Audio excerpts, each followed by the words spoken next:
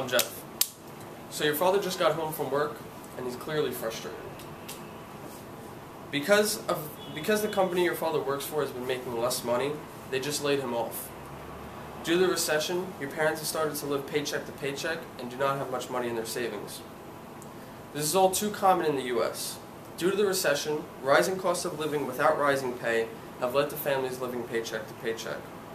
CNBC claims that in 2009, 61% of workers were living paycheck to paycheck. This is an increase from 49% in 2008. After looking into the subject, I've come to the conclusion that there were more effective ways to handle a recession. I'll address how the Obama administration handled the recession, what was wrong with the current policy, and alternate more effective solutions. Begin, I will, I will explain uh, the current government policy revolves around two main solutions. First, the stimulus package. This was a $787 billion package approved in February of 2009. Kimberly Amadeo from About.com states that the stimulus package was meant to be spent over 10 years, with 91% of its budget spent in the first three. The package was initially aimed to spend $228 billion in tax cuts, 224 billion in extending unemployment, education, and healthcare benefits, and 275 billion to create jobs through federal grants, loans, and contracts. Recovery.gov says that in order to fit with the 2012 Obama spending, the budget for the stimulus package was increased to $840 billion. Recovery.gov also also shows that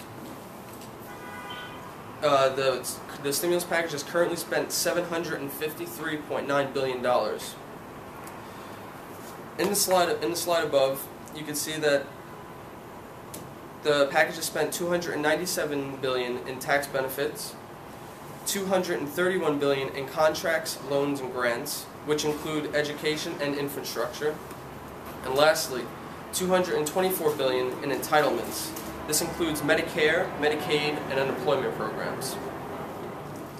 Secondly, the, se the second main solution were budget cuts. In order to trim, trim the national debt, which is over 15 trillion, the government implemented budget cuts. The stimulus package was a big spending plan, so in order to combat the massive amounts of spending, they cut federal, federal funding. The stimulus package was aimed to prevent state budget cuts, but this fails. States begin cutting spending on education and job programs in order to, in order to avoid a deficit.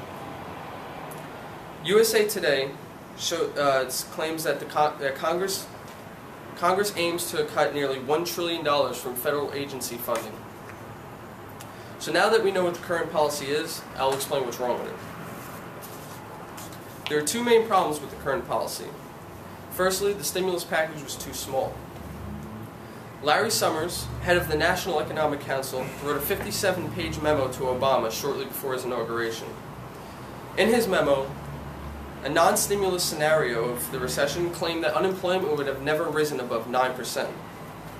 CommonDreams.org shows that, that the unemployment rate was at 9.4% in May of 2009 and peaking at 10% in October of 2009. This is extremely high, especially in comparison to previous administrations. The Clinton administration, for example, had employment at 4.2% in 1999. When you consider the percentages of, especially considering 311 million people live within the U.S., according to the U.S. Census Bureau, 5%, uh, 10% unemployment is very, very high. The second main problem were the budget cuts happened too soon. Dean Baker, co-director of the Center for Economic and Policy Research, states that the economic data showed that the economy was not ready for these budget cuts. He adds that budget cuts should have happened after unemployment was, was lowering and the economy was on a clear path to recovery. Now that we know what was wrong with the current policy, what were alternate solutions? There were three major changes to the current policy. First, a larger stimulus. Dean Baker claimed that, this, that the stimulus should have had a larger budget, budget and spent over more time. Because this did not happen, This led to this led to, this would a larger stimulus would have led to less job loss. Because this did not happen, this led to more jobs lost. Dean, Dean Baker also says that the government should have explained should have explained the current situation with the economy so that Congress would have helped uh, would have approved for more budget. The lack of communication led to Congress against the higher budget. Secondly, budget cuts should have happened later. The economy needed more stimulus when budget cuts were implemented. CommonDreams.org says that more, more economic stimulus should have, been, should have been provided to combat unemployment. The third major change would be to fix expectations. Dean Baker says that once the Obama administration realized the economy was worse than expected, they did not change their plan.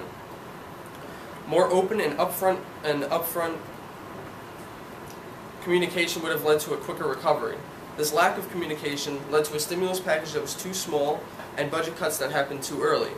If the economy was better explained, Congress would have been much more sympathetic to the cause. In conclusion, my plan would have would have would include a refocus on economic recovery and recover jobs. It would ha- it would end up in a healthier healthier reco- uh, economy in long term. Thank you. Six minutes and about 20 seconds. Jeff, that was terrific. Uh,